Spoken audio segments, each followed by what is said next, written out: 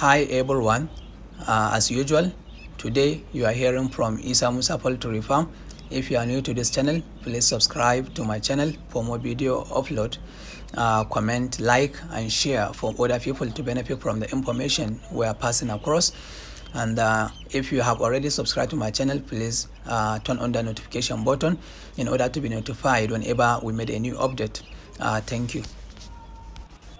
Uh, in today's video we are going to talk about the result of the correction that we did for our day old uh, Belgium guinea fowl and uh, uh Noiler chicken uh, for the split legs or you call it leg paralysis uh, or maybe leg deformity in day old chick.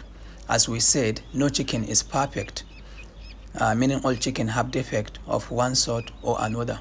So as you can see in this video after uh, it, it is barely 24 hour after we made the correction for them we tie a rope in between the two legs. We make sure we do not tie it too well in order to not to avoid uh, blood from uh, flowing to the toe area so that uh, there will be a good circulation passing across from the uh, above the knee to the toe area so as you can see uh, we are now untying them. Uh, they are already working properly. Uh, it is just uh, a 24 hour after we did the correction for them.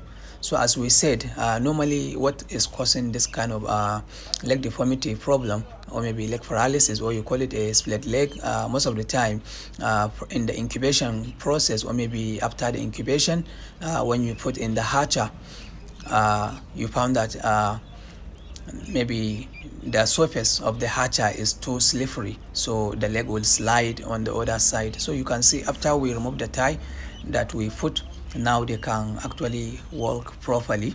So this is how we do it. You can also try this uh, method in your farm when you have a problem like this. Uh, this method can be applied for all the poultry breed that you have in your farm not only guinea fowl not only uh, chicken you can apply this method. For ducks you can apply this method. For goose you can apply this method. For turkey and so many other poultries that you have in your farm. And uh, when you apply this method uh, make sure you uh, make an observation uh, to look at the toes in order to see maybe if the color is changing or maybe uh, you close it too, uh, too tight that blood is not circulating properly. So in case we have this kind of problem you have to take and check it and then you cut it you remove the the rough that you put or whatever you method whatever thing you use then you have to remove it and then retie it again and you have to do it in a way that uh, you won't hurt the chicken, uh, the cheek. And uh, after uh, it is uh, maybe after some time when you notice that maybe they can now walk properly, then you have to take it and remove the rope and then you observe to see how they are walking And uh, if they can walk properly again, then that is the result that we are looking for. So in this video, we are trying to summarize the result of uh, how we corrected the split leg in our uh, newly hatched Belgium guinea fowl and uh, Noiler chicken that was hatched in our farm at Isa Musa Poultry Farm.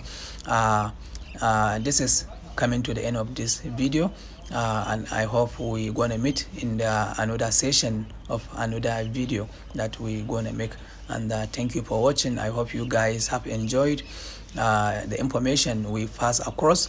And uh, if you like please do comment and share for other people to also benefit thank you very much and uh, god bless you all. Uh, this is uh, isa musa poultry farm that we are sharing this information to you all across the world. Thank you. Have a good day